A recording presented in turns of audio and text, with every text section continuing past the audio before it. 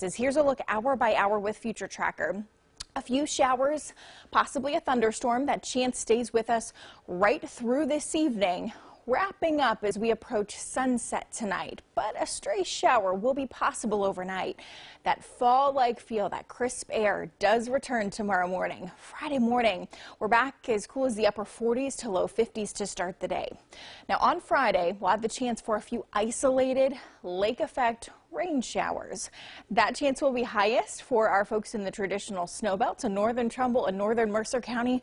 And even at that, I think the chance is pretty low, just a stray shower. And as we approach Friday evening, our clouds will be decreasing. That rain chance wraps up. It is going to be a cool Friday evening for those of you with outdoor plans. So today, a few isolated showers or thunderstorms.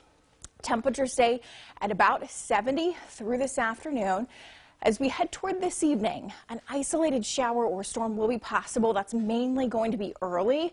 Then expecting a few clouds overnight. Temperatures back on the cool side. We'll be in the upper 40s to low 50s. So that fall-like feel is back tomorrow morning. We'll stay in the 70s, a little bit below average as we're wrapping up the week. High of 72. Skies will be partly sunny with that small chance for a stray shower. Here's a look at the Friday night football forecast. Wow, what a great evening for it. Sweatshirt weather. During kickoff, temperatures, they'll be in the upper 60s.